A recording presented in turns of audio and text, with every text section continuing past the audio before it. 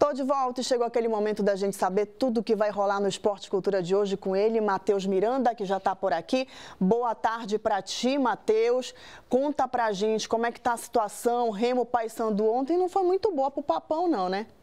Não foi. Boa tarde, Jael, e a todos. Estamos acompanhando pela TV, portal, aplicativo da Cultura. O Paysandu perdeu outra partida na Série B do Campeonato Brasileiro.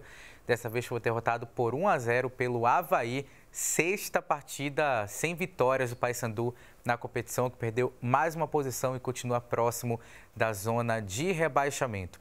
Além disso, a gente vai falar sobre o Remo, que já está em Porto Alegre para jogar contra o São José neste sábado, às 5 horas da tarde, pela última rodada da primeira fase da Série C do Campeonato Brasileiro. Falta só mais um dia, torcedor azulino. Hoje ainda é dia de dormir um pouquinho mal por causa desse jogo. E também sobre a Copa do Mundo de Futebol Feminina em, 2017, em 2027 e Belém sendo uma das cidades mencionadas aí durante a competição. Essas e outras notícias você acompanha daqui a pouquinho no Esporte Cultura, que começa coladinho com o jornal. Eu vou para ti, Jaelta.